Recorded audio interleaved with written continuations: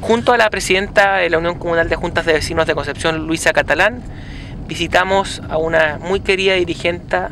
del sector Las Tres Pascualas en Concepción, eh, Ingrid Pedraza, que está aquejada por una enfermedad desde hace ya bastantes meses y que consideramos apropiado en ese sentido venir a acompañarla, venir a respaldarla, venir a saludarla y poder eh, decirle que estamos con ella en este momento difícil que le ha tocado vivir por motivos de salud.